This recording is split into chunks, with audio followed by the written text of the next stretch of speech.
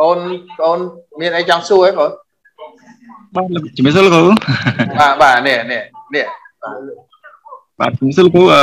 ចុចអូចុចទា password អត់អត់មាន password ទេនេះអត់មាន password ទេយំទៅទា password នេះកម្មចូលមកអត់ចុចអត់មាន password ទេមាន password ទេចូលក្នុង Zoom តាមរយៈ Telegram បានចូលកើតបើទៅតាម Facebook page ចូលកើតអូចូលតាមរយៈណាវិញបានចូលបានចូលមាន link Zoom នៅក្នុងហ្នឹង ចូលតាម Telegram លោកគ្រូចូលតាម Telegram ចូលបាន Facebook page ក៏មានយកមាន link Zoom នៅហ្នឹងដែរបើចូលតាម Facebook page ដូចជាទៀមទា password លោកគ្រូចឹងចូលមាន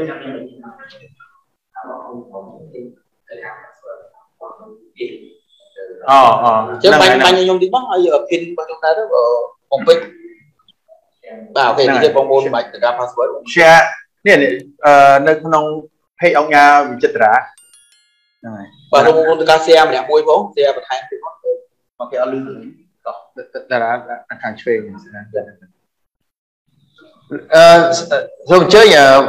អូនជួយចេះសីហាលោកគ្រូសីហាលឿលឿលឿអូខេជាបឋមសូមគោរពលោកគ្រូសៀមតារាក៏ដូចជាលោកគ្រូវិចិត្រតារាផងដែរបាទ កន្លងទៅខ្ញុំបានឆ្លងកាត់ការចូលរួមសិក្ខាសាលាវគ្គប្រើប្រាស់លុយលោកគ្រូកាលពីថ្ងៃ28បាទហើយទទួលបានចំណេះដឹងមួយចំនួនហើយគឺថាល្អដែរគឺផ្លាស់ប្ដូរផ្នត់គំនិតខ្ញុំបានច្រើនការតេតតងទៅនឹងការប្រើប្រាស់ចាត់ចែងលុយណាលោកគ្រូបាទហើយតេតតងទៅនឹងគូបបាទការប្រើប្រាស់កញ្ចប់ថវិកាការសំលុយគឺយល់ដឹងបានច្រើនក៏ពីបញ្ចប់ វគ្គសិក្ខាសាលាប្រើប្រាស់លុយណាបាទហើយនៅត្រង់ចំណុចមួយតកតងទៅនឹងផ្នត់គណិតអ្នកមានណាលោកគ្រូតកតងគឺមានចំណុចមួយគឺតកតងការធ្វើផែនការគោលដៅផែនការអាជីវកម្មក៏ដូចជាការផែនការរបស់យើងអញ្ចឹងណាបាទហើយជាជាក់ស្ដែងខ្ញុំផ្ទាល់គឺកំណត់ផែនការគោលដៅហើយប៉ុន្តែអនុវត្តអត់អត់អត់ដល់គោលដៅហើយឆាប់បោះបង់អញ្ចឹងណា កុំឲ្យលោកមិនដើម្បីឲ្យរក្សាគោលដៅឲ្យបានយូរអញ្ចឹងកុំឲ្យឆាប់បោះបង់ពេកអញ្ចឹងណាបាទបាទចឹងគោខ្ញុំអឺតារាមុនចាអរគុណបាទចឹងខ្ញុំយកទៅបាទខ្ញុំសូមនិយាយទៅកាន់បងប្អូនដែលគាត់មើលការ live គាត់សួរថាគាត់បានគាត់គាត់បានចូលរួមវគ្គកម្មវិធីប្រើប្រាស់លុយឲ្យគាត់សុបាយចិត្តមែនទែនហើយគាត់ចូលខ្លាំងកម្មវិធីរបស់យើងហ្នឹងហើយឥឡូវនេះគាត់ធ្វើតាមអនុវត្តរបៀបប្រទេសលុយគឺនឹងមានការរីកចម្រើនហើយគាត់សួរសំណួរសួរថា របៀបនៃការថតនឹងមានឲ្យយើងមានផែនការនៃការរៀបចំអឺអាជីវកម្មក៏ដូចជាផ្ទាល់ខ្លួនផែនការគាត់ហ្នឹងហើយអញ្ចឹងគាត់សួរថាតើគឺមិនដើម្បីឲ្យផែនការយើងធ្វើដើម្បីមានការឆាប់បបបាទអញ្ចឹងខ្ញុំសូមចែករំលែកបទពិសោធន៍តិចជាទូទៅមនុស្សយើងគឺតែងតែមានភាពជ្រើនៅពេលដែលគោលដៅរបស់យើងអត់ច្បាស់អត់លាស់ឧទាហរណ៍ថាផែនការរបស់យើងនៅពេលដែលគោលដៅអត់សំខាន់ដូចឧទាហរណ៍ថាអូនឈឺពោះចុះបងឈឺពោះហ្នឹងឈឺលេងលេង នៅពេលដែលឈឺលេងលេងយើងរើសប្រគុណណាទុកទឹកណាអត់ស្អាតមកឲ្យអូនធ្វើដំណើរទៅសៀមរាបចុះអូនចុកពោះចុកពោះហ្នឹងអូនឃើញក្រាស់សាំងមួយអូនចូលទៅហើយឃើញឃើញអូនទៅតាមប្រកេចតោះពីនាទីវិញគូដល់អញ្ចឹងចុះពីស្អាតតែអូនចេញឡានៅទៀតណាដល់ពីនាទីមនុស្សច្រើនពេក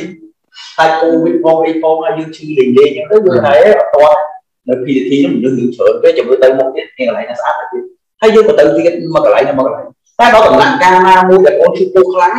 តែវាស្រែបងទៅហ្នឹងមានន័យវាសំខាន់ហ្នឹងហើយវាសំខាន់សម្រាប់យើងពេលដែលវាសំខាន់សម្រាប់យើងយើងក៏បន្តធ្វើតាមទៀតឲ្យសំខាន់ហ្នឹងហើយបាទហើយពេលដែលវាគិតថាវាសំខាន់សម្រាប់យើងយើងនឹងចាក់តាមធ្វើរឿងដ៏សំខាន់ហ្នឹងហើយតែយើងគិតថាអត់ទៅសំខាន់មកចុះពោះលេងលេងបងថាសម័យវាមាន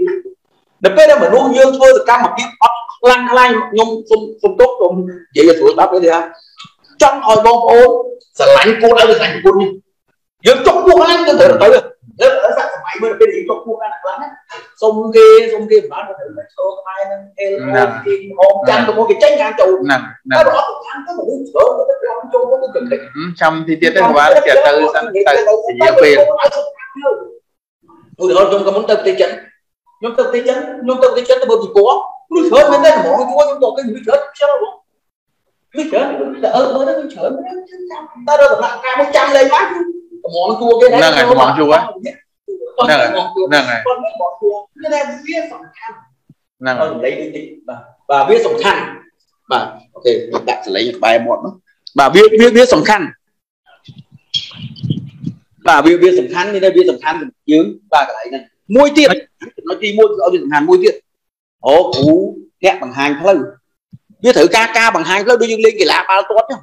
ហេតុតែបានកីឡាបាល់ទាត់នោះគឺក៏ទាត់បាល់ប៉ាកែដោយខ្លួនឯងប៉ុន្តែត្រូវការអ្នកបង្ហាញផ្លូវព្រលឹមឡើងកុំកចែកជ្រែករត់រត់រត់រហូតដល់ទៅជាទម្លាប់យើងត្រូវការមនុស្សដើម្បីបង្ហាញផ្លូវត្រូវការអ្នកអ្នកបង្ហាញផ្លូវ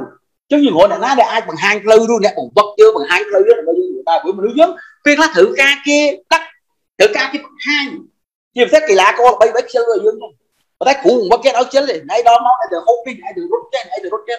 ចឹងគាត់កាន់តែបន្តទៅមុខដើម្បីដល់គោលដៅរបស់ បាទអរគុណដែលជាចំណុចខ្ញុំសូមជួយលោកគ្រូម្ដងហ្នឹងហើយសម្រាប់ខាងសម្រាប់ខ្ញុំវិញខ្ញុំចង់និយាយថាយើងបងប្អូនអឺក៏ដូចជាប្រិយមិត្តរបស់យើងនោះគឺយើងត្រូវបែងចែកអដាច់រវាងអ្វីដែលជាផែនការដែលត្រូវធ្វើនិងអ្វីដែលជាបុគ្គលិកលក្ខណៈឬផ្នែកគំនិតរបស់ខ្លួនយើងផ្ទាល់អញ្ចឹងយើងវាវាមានពីរផ្នែកហ្នឹងដែលខ្ញុំបណ្ដុះបណ្ដាលកន្លងមកជាងមួយទសវត្សរ៍កន្លងមកហ្នឹងគឺខ្ញុំ បណ្ដុះបណ្ដាលនិងបង្វឹក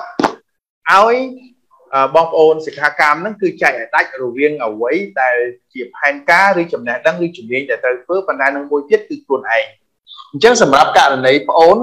គឺមិនពាក់ព័ន្ធជាមួយនឹងផែនការសកម្មភាពចំណេះជំនាញនោះទេមិនពាក់ព័ន្ធនឹងទេតែពាក់ព័ន្ធជាមួយនឹងប្អូនខ្លួនឯងផ្ទាល់ដែលជាបុគ្គលម្នាក់ ដែល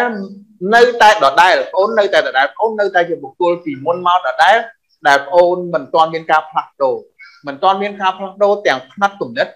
មិនទាន់មានការផ្លាស់ប្ដូរទាំងទម្លាប់ប្អូនមិនមានវិន័យប្អូនមិនមានកត្តាជំរុញទឹកចិត្តខ្លួនឯងដែលដែលជាកត្តាមួយរារាំងឲ្យប្អូនឯងធ្វើខ្លះមិនធ្វើខ្លះធ្វើខ្លះមិនធ្វើខ្លះអញ្ចឹងទោះបីថាប្អូនរៀនជំនាញប្អូនរៀនមក ពីការរបៀបរៀបចំផែនការហើយហ្នឹង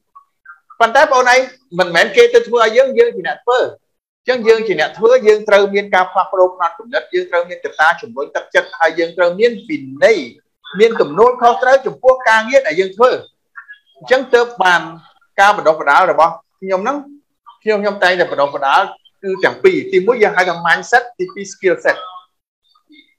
mindset គឺខ្លួនឯង skill set គឺជំនាញនៅក្នុងការ ធ្វើការងារអ្វីមួយអញ្ចឹងបងអូនបើសិនណាជាបងអូនមានផែនការហើយតែបងអូនឆាប់បោះបង់ចោលបងអូនទៅវឹកហាត់ខ្លួនឯងវឹកហាត់នៅក្នុងការអភិវឌ្ឍផ្នែកចំណុចខ្លួនឯងនិងអភិវឌ្ឍអឺផ្លាស់ប្ដូរនៅទម្លាប់ទម្រួលខុសត្រូវវិន័យចំពោះខ្លួនឯងអញ្ចឹងបងអូននឹងធ្វើបានជាប់លាប់ហើយសំណួរបងអូននេះករណីបងអូននេះមិនមែនត្រឹមតែមួយត្រឹមតែមួយទេមានជាច្រើនអ្នកដែលសួរសួរមកលោកគ្រូចឹងដែរសួរមកបងហ្នឹងហើយសូមអរគុណណាបងណាហ្នឹងហើយបាទបាទអរគុណបាទអូខេ លឺលឺបងប្អូនអត់លឺលឺស្បើយពេកពីខ្ញុំលឺស្បើយអញ្ចឹង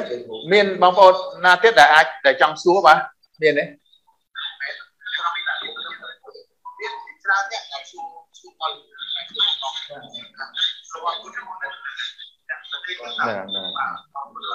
អូខេបាទបាទបាទលឺលឺបងប្អូនលឺស្បាយតែចា យសាប់តែចាយទៅរបបធ្វើកៅអញ្ចឹងបងប្អូននៅក្នុង Zoom បងប្អូនអញ្ជើញចូល Zoom ណាបងប្អូនគ្នាតាម Facebook ខ្ញុំលើកទឹកចិត្តឲ្យបងប្អូនចូលមកនៅក្នុងអឺវេទិកា Zoom នេះបងប្អូនអាចឆ្លងឆ្លើយជាមួយជាមួយវាគ្មិនរបស់យើងបានណាតែចាអូខេបាទបងប្អូនទទួលបានសម្លេងច្បាស់ទេបាទអូខេយើងបងប្អូនតាម Zoom ម្ដងទៀតអី បងប្អូនអាចមើលតាម page របស់ស៊ីនតារាក៏បានបាទខ្ញុំអត់ឃើញច្បាស់អាចចូលស៊ីនតារា Academy ទៅបាទខ្ញុំក៏ឃើញដែរអូថ្ងៃនេះយើងមិនឃើញបានរៀបចំអូខេឥឡូវបងប្អូនលឺទេបាទលឺនៅបាទមានទេមានបងប្អូនណាចង់ចង់សួរទេបើអត់ទេយើងបន្តវគ្គរបស់យើងតទៅទៀត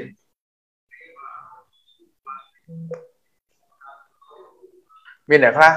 ចូល Zoom អញ្ចឹងណាដល់ពេលដែល ឲ្យលើកដៃឡើងសួរមានចំណានមានចង់សួរបាត់វិញរអត់ហ៊ានសួរអត់ហ៊ានចេញអូខេមកបាទបាទសម្លេងខាងក្រៅខានបងប្អូនឮសម្លេងច្បាស់ទៅបាទច្បាស់វិញទៅអត់ទេខិតមកមុខបន្តិចក៏បានខិតមុខបន្តិចមិនមើលតែខ្ញុំមួយគូក៏បានអញ្ចឹងឥឡូវយើងបើអត់ទេចាំមើលរហូតដល់បងប្អូនណាមានសំណួរចាំ operator ចាំជួយប្រាប់ផងណាបើសិនជាបងប្អូនមានសំណួរអឺយើងនឹង យើងនឹងយើងនឹងអញ្ជើញបងប្អូនឡើងមកវេទិកា Zoom តែបើអត់ទេយើងបន្តការជជែកគ្នាដេញដោលតទៅទៀតអញ្ចឹងយើងអាចបន្តបន្តិចតទៀតណាលោកតារាណាអញ្ចឹងឥឡូវក្នុងនាមថ្ងៃនេះខ្ញុំទាំងវាគ្មិនផងទាំង moderator ផងហើយចង់ឲ្យវាគ្មិនកិត្តិយសដែលត្រូវបានអញ្ជើញមកនៅក្នុងកម្មវិធីរបស់យើងនេះ បញ្ចេញទស្សនៈរបស់គាត់ឲ្យបានច្រើនបំផុតដែលអាចធ្វើទៅបានអញ្ចឹងតាក់ទងទៅនឹងផ្នែកគំនិតលុយលុយគឺជាគំនិតនេះតើលោកតារាអាចលើកឧទាហរណ៍អឺជាជាអាជីវកម្មក្តីឬមួយក៏ជាជាបទពិសោធន៍ជាក់ស្ដែងដែលនៅក្នុងជីវិតលោកតារាបើសិនអាចលើកបានណាដែលថាកន្លងមកហ្នឹងដែល ដែលនេះខ្ញុំរលួយបានប៉ុណ្នេះតែខ្ញុំអត់មានតែខ្ញុំប្រើតែគំនិតទេដែលធ្វើនំអត់ម្សៅដែលគេនិយាយថាអញ្ចឹងណាអាចចែកចាយបានទេបើសិនចែកចាយបានសូមអញ្ជើញបើអត់ទេក៏មិនបញ្ហាដែរគេលោកជួនកាលវាជារឿងសម្ងាត់របស់ខ្លួនឯងសូមចែកចាយនៃបទពិសោធន៍ដែលខ្ញុំចាប់ដើមធ្វើខាងក្រុមហ៊ុនដឹកជញ្ជូនដំបូងតិចនៅប្រទេសចិនកាលពីឆ្នាំ2012បាទខ្ញុំចាប់ដើមបើកក្រុមហ៊ុនដឹកជញ្ជូននៅប្រទេសចិន ពេលនោះគឺខ្ញុំគ្រាន់តែមានទិញជាបានទៅចិត្តមនុស្សទេខ្ញុំនាំមនុស្សពីពីខ្មែរទៅចិននាំមនុស្សដើម្បីទៅមើលជំនួយនៅប្រទេសចិនវិញជាមួយដៃគូមួយយោយីបាទជនជាតិចិនយើងអង្គុយញ៉ាំអីនៅផាប់នៅ street នៃអាំងសាច់អីញ៉ាំពីទៅគេថាឥឡូវយើងគួរបង្កើតគំនិតអីដើម្បីបន្តឲ្យមានលុយចូលតអញ្ចឹងគេថាអីទោះយើងបាត់បិទបញ្ជូនមិនដែរដោយសារយើងមានទូកុងតឺន័ររបស់ខ្ញុំនេះខ្ញុំចេញបាទទូកុងតឺន័ររបស់ខ្ញុំគឺខ្ញុំចេញរៀងរាល់មួយខែម្ដង បាទអញ្ចឹងយើងប្រកាសថាយើងមានដឹកជញ្ជូនណាដើម្បីអីវ៉ាន់ទូទូដែលគេអាចផ្ញើគេផ្ញើចូលទៅក្នុងនេះបើយើងផ្ញើចូលក្នុងទូកុំអឺញាត់ចូលក្នុងទូរបស់យើងផ្សេងផ្សេងទៅដើម្បីយើងងាយស្រួលនៅក្នុងការអឺដឹកយេដកអញ្ចឹងទៅបងអញ្ចឹងយើងងាយស្រួលការដឹកពេលនោះយើងចាប់ដល់អត់ទៅដល់នឹងអីទេខ្ញុំទៅចរចាជាមួយនឹងខាងដឹកជញ្ជូនធំដែលគេមានឃ្លាំងនៅចិនចរចាថាឥឡូវបើទំនិញខ្ញុំមានច្រើនជាងមុនដែលអាចចុះតម្លៃខ្ញុំបានណា ខ្ញុំមានតំណែងច្រើនជាងមុនអាចចុះតម្លៃល្អសប្បាយខ្ញុំមិនដឹកច្រើនជាងមុនអញ្ចឹងខាងចិនឯងវាអាចដឹកតតំណាក់ប៉ុណ្ណាខ្ញុំចុះតម្លៃឲ្យអញ្ចឹងជួគាត់ទេឥឡូវបើសិនខ្ញុំមានតំណែងច្រើនជាងមុនសូមទូទាត់ខែម្ដងមកចុងខែទៅទាត់ហើយថ្ងៃ10បានបិទបញ្ជីអញ្ចឹងគេក៏ឯកភាពដល់គេថ្ងៃ10បិទបញ្ជីអញ្ចឹងថ្ងៃដឹកទៅដល់ថ្ងៃ8គេចាប់ដើមថ្ងៃថ្ងៃ3បិទបញ្ជីថ្ងៃ10គេមិនវិញបាទអញ្ចឹងដល់ពេលនោះគឺខ្ញុំចាប់ដើមមានប្រឡំគ្នាអញ្ចឹងខ្ញុំប្រមូលនៅម៉ែនេះថាខ្ញុំមានក្រុមហ៊ុនដឹកជូន បាទយើងអាចដឹកជញ្ជូនផ្ញើតំណែងទូទូបានអញ្ចឹងគាត់ចាប់ផ្ដើមគ្រប់គ្រងផ្ញើតំណែងទូដោយសារយើងមាន space របស់យើងទៅស្រាប់គឺមានគាត់តំណែងទូទៅវាបានមានចេញមកអញ្ចឹងជួយខ្ញុំបានចំណូលមកតង់ទៀតពីលើហ្នឹងបាទចំណូលតង់មកតង់ទៀតពីលើហ្នឹងអញ្ចឹងទៅពេលដែលចាប់ដល់មានតំណងចាប់ដល់មានតំណែងធំធំវាផ្ញើយើងណាអញ្ចឹងយើងមានតំណែងធំធំហ្នឹងចាប់ដល់ពីការធ្វើនំអត់ស្អីទៅឯងហើយចាប់ដល់ខ្ញុំចូលចាមួយគេខ្លាំងបិទមកអាគេនេះបិទលេងទៅ អញ្ចឹងយើងចាប់ដើមខ្ញុំចាប់ដើមមានចរចាពីឃ្លាំងគេឥឡូវនេះយើងអាចចង់និយាយថាឃ្លាំងទំនិញគាត់អាចស៊ី200បានណាគាត់មានឃ្លាំងខ្ញុំមានអីបានអញ្ចឹងយើងចែក200គ្នាឧបមាថាទំនិញមួយ10ដុល្លារអញ្ចឹងគាត់យក1ដុល្លារទៅឬក៏ផាត់ឲ្យចំណេញបាន3ដុល្លារអញ្ចឹងគាត់យក20%នៃលុយ3ដុល្លារអញ្ចឹងចរចានេះជារបៀបនៃការធ្វើយើងមានសមត្ថភាពយើងមានដើមទុននៅក្នុងការបណ្ដេញដំណងយើងយកមកគាត់មានឃ្លាំងអីបានយើងយកមកចែកនេះទៅចែក ការធ្វើនំអត់ម្សៅនោះគឺមានន័យថាវាអត់មានទេធ្វើនំតែខាត់ត្រូវតែមានម្សៅគាត់ម្សៅយើងអាចជាដូងខ្លះមានស្ករខ្លះមានត្រចេកខ្លះមានដើមត្រចេកមានអីចឹងហ្នឹងហើយបាទការធ្វើនំតែខាត់ត្រូវតែមានម្សៅតែមានមេត្រីយើងនំអត់ម្សៅវាញ៉ាំនំខ្ជិលបាទបាទប៉ុន្តែវាត្រូវតែមានមេត្រីតែគាត់ណាអាចដើមទុននោះអត់មានម្សៅទេតែមានទឹកចេកហ្នឹងហើយបញ្ចូលបានហ្នឹងហើយយកមានទឹកចេកមានអុសអុសដុតហ្នឹងខ្ញុំមានឆ្នាំងឆ្នាំងចែកខ្ញុំបានខ្ញុំមានឆ្នាំងតែចេះវិញយ៉ាទៅ មានភាសាមានការទៀបតំដែររូបទៀតណាមួយគឺសំបានអូខេបាទអរគុណលោកបាទបាទខ្ញុំដូចដូចតិចអញ្ចឹងថ្ងៃនេះបើសិនណាជាបងប្អូននៅនីតិចិត្តចុងក្រោយនេះបើសិនណាជាបងប្អូនមានសំណួរចង់សួរដល់វាគ្មិនរបស់យើងគឺខ្ញុំនឹងអញ្ជើញបងប្អូនឡើងមកវេទិកា Zoom មានទេបាទអឺបងប្អូនមានសំណួរ ទេបើអត់ទេយើងនឹងធ្វើការបញ្ចប់កម្មវិធីរបស់យើងតែត្រឹមប៉ុណ្ណេះសិនហើយពីព្រោះវាអាចជាជាបែបបទនៃការធ្វើ talk show បែបថ្មីបងប្អូនអាចមិនទាន់ស្មជាមួយនឹងការប្រើ Zoom ឬមួយក៏ការរៀបចំរបស់យើងនៅនៅមិនទាន់រលូនល្អប៉ុន្តែយើងចង់លើកទឹកចិត្តឲ្យបងប្អូនអរគ្នាចូលរួមនៅក្នុងវេទិកា Zoom នេះដើម្បីអាចឆ្លងឆ្លើយបើសិនជាមានសំណួរ គាត់សួរបងសូមស្វាគមន៍សាអូខេសេហាបាទបាទជំរាបសួរលោកគ្រូសាថ្មីម្ដងទៀតបាទបាទគឺខ្ញុំមានចងល់មួយតាក់ទងទៅនឹងការជ្រើសរើសលោកគ្រូណាអឺជ្រើសរើសអីគេដែរជ្រើសរើសអីគេដែរបាទ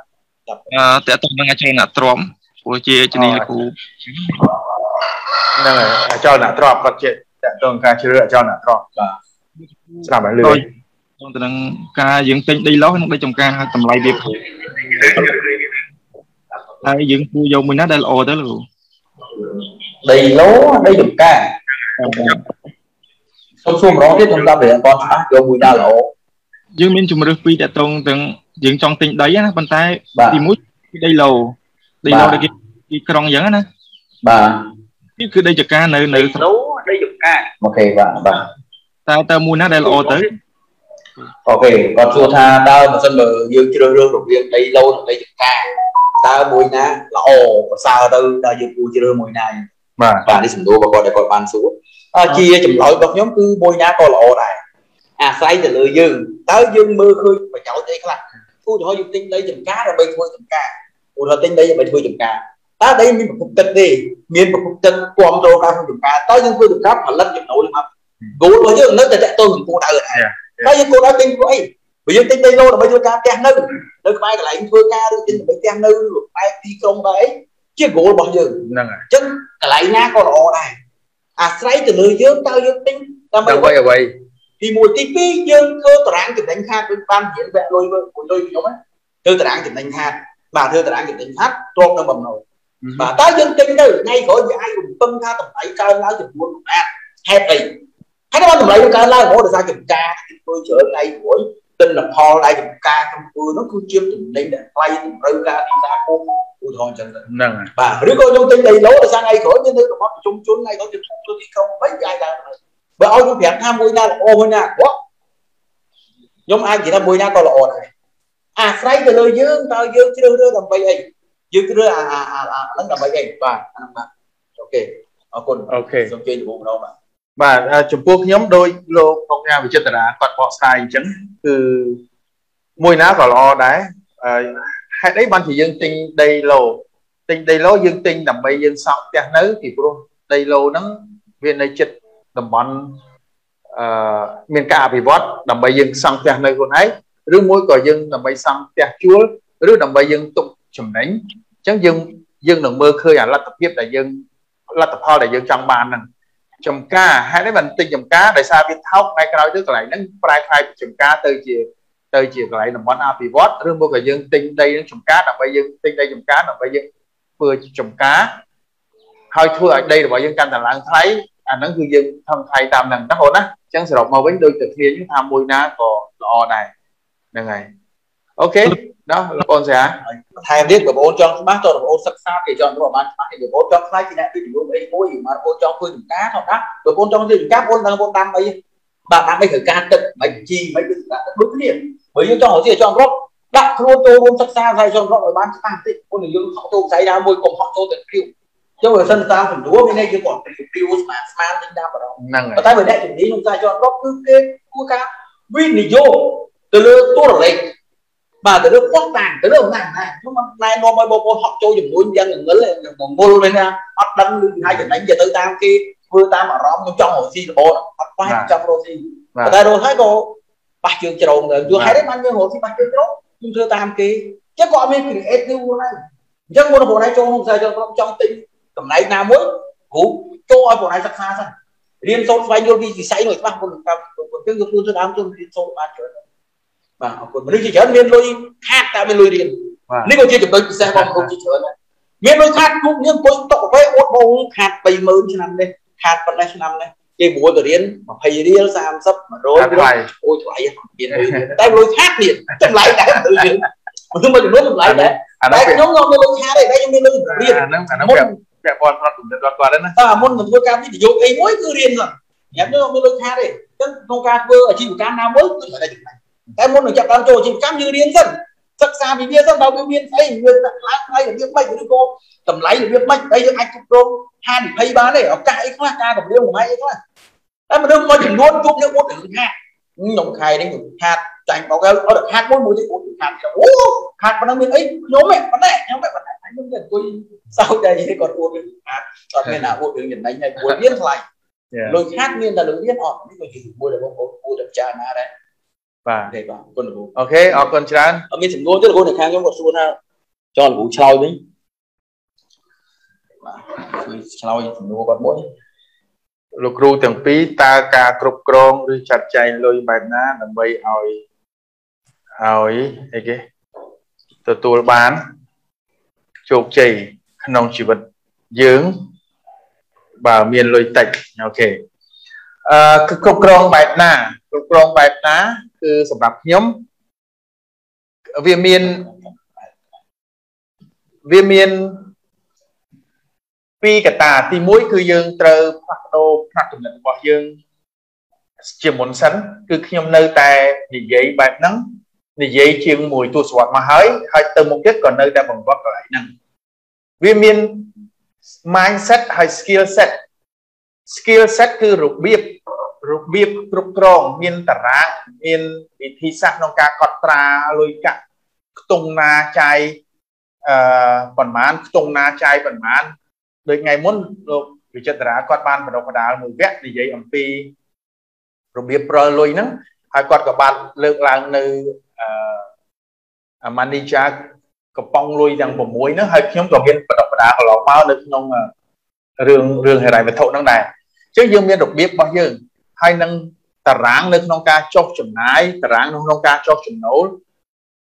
គម្រោងថវិកាចំណាយប្រចាំខែអាហ្នឹងយើងនិយាយផ្ទាល់ខ្លួនទេណាយើងអត់អត់និយាយស៊ីជម្រៅទៅក្រុមហ៊ុនទេគម្រោងថវិកាចំណាយប្រចាំខែប្រមាណអីប្រមាណហ្នឹងគឺយើងមានអាហ្នឹងអាហ្នឹងគេហៅថា skill set គឺជំនាញមួយ set ប៉ុន្តែ mindset គឺផ្នែកគំនិតដែលជាជំនាញរបស់ខ្ញុំបដិបដាកន្លងមកហ្នឹងលុះត្រាតែនៅក្នុងសតិរបស់យើងពោះក្បាលរបស់យើងនេះ មានអឺមានការគ្រប់គ្រងនៅការសន្សំឬគ្រប់គ្រងចាត់ចែងលុយកាក់វាមិនខុសពីអ្នកអឺចង់ហាត់ប្រាណដើម្បីបសក់ទម្ងន់ទេហាត់ប្រាណបសក់ទម្ងន់ឬមួយក៏គ្រប់គ្រងរបបអាហារដើម្បីបសក់ទម្ងន់ប៉ុន្តែទីបំផុតបើសិនជាគាត់មិនមានវិន័យមិនមានផ្នត់គំនិតដែលស្រឡាញ់អំពីសុខភាពរបស់គាត់គឺគាត់អាចនឹង មិនសម្រេចគោលដៅរបស់គាត់ទេទោះបីគាត់ដឹងពីរបៀបហាត់ប្រាណដឹងពីរបៀបក្នុងការគ្រប់គ្រងរបបអាហារក៏ដោយប៉ុន្តែបើសិនជាផ្នែកគំនិតរបស់គាត់មិនគ្រប់គ្រងទេគឺគាត់នៅតែដដែលទេគឺបងប្អូនឃើញស្រាប់ហើយថាអឺអឺជាជាច្រើនអ្នកនឹងនិយាយថាចាប់ពីថ្ងៃនេះទៅខ្ញុំនឹងសន្សំលុយចាប់ពីថ្ងៃនេះទៅខ្ញុំនឹងគ្រប់គ្រងលុយកាក់ឲ្យបានល្អចាប់ពីថ្ងៃនេះទៅ គាត់មានការតាំងចិត្តយើងចត់ចង់មែនប៉ុន្តែគាត់ទៅរៀនគាត់ទៅរៀនពីរបៀបគ្រប់គ្រងលុយអីចឹងទៅណាប៉ុន្តែមកវិញគឺនៅតែដដែលដោយសារដោយសារគាត់បានផ្លាស់ប្ដូរផ្នត់គំនិតរបស់គាត់ហ្នឹងឯងអញ្ចឹងសម្រាប់ខ្ញុំមានពីរគឺផ្នត់គំនិតឬហៅថា mindset មួយទៀត skill set ជំនាញអញ្ចឹងបងប្អូនទៅរៀនពីជំនាញរៀនពីអង្គញាវិចិត្រតារាថ្ងៃមុនបានមួយមួយផ្នែកហើយប៉ុន្តែបងប្អូនត្រូវវិលត្រឡប់មកអភិវឌ្ឍផ្នត់គំនិតរបស់យើងម្ដងបាទទើបវាស៊ីគ្នាហ្នឹងហើយ ទៅតារាមានអីបន្ថែមហើយហ្នឹងបាទនិយាយទៅតកតនផែនការនៃការរៀបចំលុយយ៉ាងម៉េចដើម្បីឲ្យជីវិតគឺបានទទួលបានជោគជ័យក្នុងជីវិតបើយើងមានលុយតិចបាទមានប្រិមិត្តសុំរំខានតិចមានប្រិមិត្តរបស់យើងគាត់ចង់សួរអឺសមេតដែរសមេតអឺយប់មិញចូលរួមដែរហើយថ្ងៃនេះចូលរួមទៀតកម្មវិធីនេះតែបើកកាមេរ៉ាមកទៅសមេតអ្នកពោស័តឬហើយសួយកំពុងនៅក្នុងផ្សារផងស្រួលតែសមេត ហ៎អូសមេតបើកនៅក្នុងផ្សារលោកគ្រូអូខេស្វាគមន៍សមេតចាវិសួរលោកគ្រូវិសួរលោកគ្រូវិចិត្រចាថ្ងៃហ្នឹងបានជួបផ្ទាល់អត់សូវលឺណាគាត់អត់អត់សូវលឺសមេតអត់លឺសំឡេងលោកគ្រូលឺហ៎លឺច្បាស់ អូខេដោយសារអ៊ីនធឺណិតខ្សោយដឹងលោកគ្រូតើថាអ៊ីនធឺណិតខ្សោយដឹងចា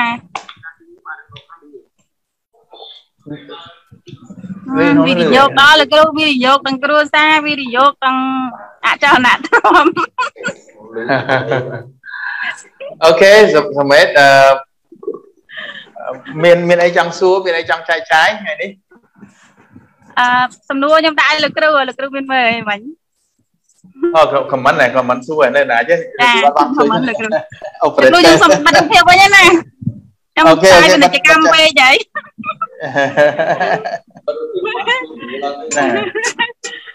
អរគុណច្រើនចាអូខេសំណួរសម្បេតសួរថាក្នុងស្ថានភាពនេះមានដីហើយតើគួរជួលឬលក់អរគុណលោកគ្រូ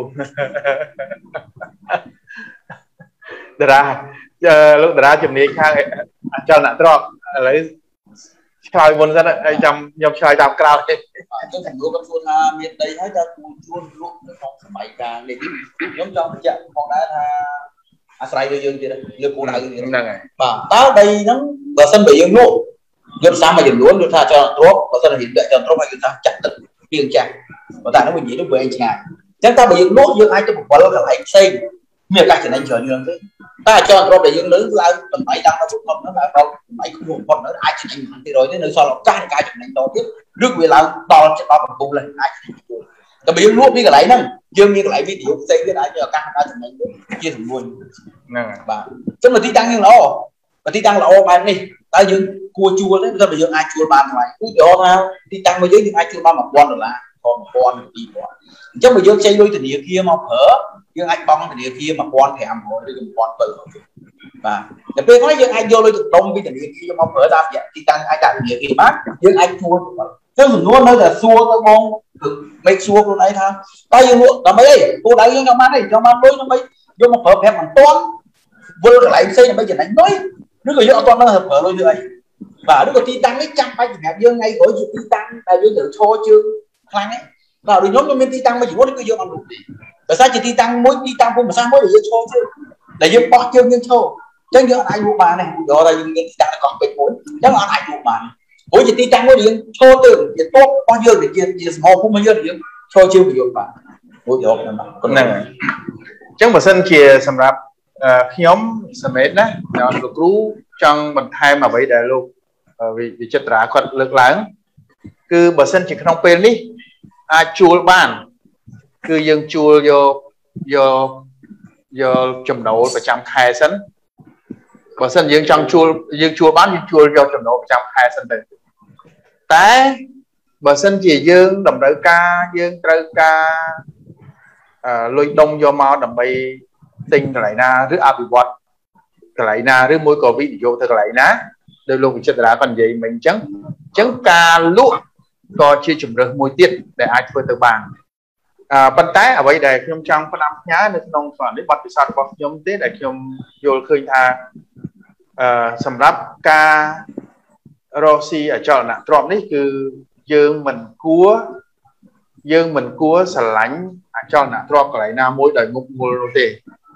មិនគួរស្រឡាញ់ហ្នឹងគឺចង់និយាយថាអានេះកន្លែងនេះវាវាមិនចង់លក់អីដូចស្រឡាញ់កន្លែងហ្នឹងទុកកន្លែងហ្នឹងអីអីអញ្ចឹងណា បើសិនជាកន្លែងហ្នឹងគឺជាកន្លែងដែលយើងរស់នៅ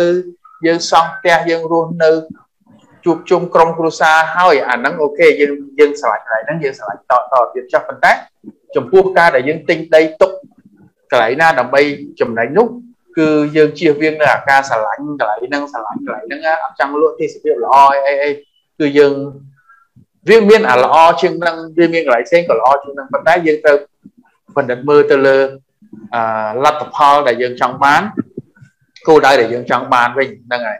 អញ្ចឹងខ្ញុំមានប៉ុណ្ណឹងចង់ចែកចាយទៅសមេតអឺសមេតសួរលក់ចង់បានលុយបង្វិលហ្នឹងលក់ចង់បានលុយបង្វិលលក់អឺលក់សម័យលក់លក់សម័យណាអាហ្នឹងគ្រប់ត្រហ្មងលក់យកលុយមកប្រវល់ដើម្បីឲ្យបានពីព្រោះកាលណាយើងຕົកជួនកាលកន្លែងហ្នឹងវាអត់ដូចលោកតារាគាត់និយាយអញ្ចឹងវាអាទីផ្សារវាដល់ចំណុចមួយ ហើយមិនមិនឃើញថាយើងមើលសញ្ញាអត់ឃើញថាវានឹងទៅគុណនឹង2គុណនឹង3ទៀតយើងអត់ឃើញសញ្ញាហ្នឹងសោះបើអត់ឃើញសញ្ញាហ្នឹងសោះពេលហ្នឹងយើងអាចលក់បានលក់តន់លក់បានលក់ទៅដើម្បីយកលុយទៅទៅប្រមើលធ្វើអីផ្សេងទៀតណាសម្រាប់ណាអូខេមានពីណាផ្សេងទៀតចង់សួរនាំទេអឺបើអត់ទេយើងនឹងបញ្ចប់កម្មវិធី live របស់យើងតែត្រឹមប៉ុណ្ណេះសិន